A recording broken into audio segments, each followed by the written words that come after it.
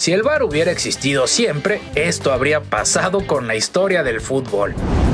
¿Qué hubiera pasado si el VAR anulaba la mano de Dios en el 86? ¿Argentina igual le ganaba a los ingleses? ¿Hubieran alzado la copa ese año? El gol fantasma con el que Inglaterra se coronó en el 66 frente a Alemania en Wembley, con la tecnología del VAR, jamás se hubiera validado. Así que probablemente en los penales, otra habría sido la historia. ¿Se imaginan? Los ingleses no sabrían lo que es ser campeón del mundo y los alemanes serían pentacampeones del mundo como los brasileños.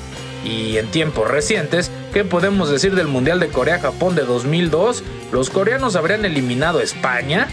Por supuesto que no. Quizá la Roja hubiera sido campeona 8 años antes de lo que lo fue. Actualmente tendría dos títulos mundiales.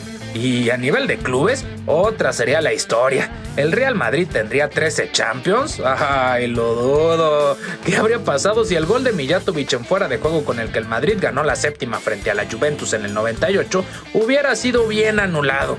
O si el gol de Sergio Ramos contra el Atlético de Madrid en la final del 2016 lo hubieran invalidado por el notorio fuera del lugar del capitán blanco o si el gol del propio Ramos con el que consiguieron un agónico empate de último minuto para después ganar la décima frente a los colchoneros no hubiera contado por el codazo de Gareth Bale en la boca de Juan Fran y el VAR hubiera echado la jugada para atrás. ¿Verdad? ¿Cuántas Champions tendría el Madrid en realidad?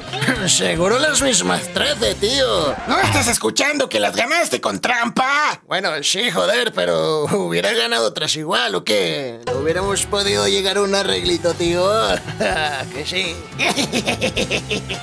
Y no crean que me olvido de los culés, porque aunque suene difícil de admitir, el sextete jamás, sí, jamás hubiera sido posible con un arbitraje justo en Stamford Bridge en la semifinal de la Champions de 2009 cuando el Barcelona eliminó al Chelsea con el famoso Iniestazo, en el que para muchos ha sido considerado el mayor robo de la historia de esta competición, por todos los penales que ese día no se marcaron a favor de los Blues, ya que con el VAR en esos momentos seguramente el resultado hubiera favorecido al Chelsea. Este sextete está más manchado y sucio que el babero de un baby. De nada os sirve llorar, tío. Joder, esa tontería del bar solo arruina el fútbol, macho.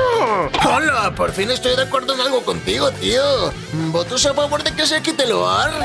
Hijos de tuña, así los quería agarrar, condenados lacras. Oh, qué casualidad que solo ustedes les molesta el bar. ¿No os parece, tíos? bueno, si es por votar, yo también voto a favor de que se quite. No dejan de inventarme fueras de lugar. A favor, cara. Mis clavadiños ya no son tan eficientes. Bueno, mientras el lugar no analice las votaciones del balón de oro, yo no tengo problema, ¿viste? Lo bueno que el bar iba a acabar con la polémica, ¿no, arbitrol?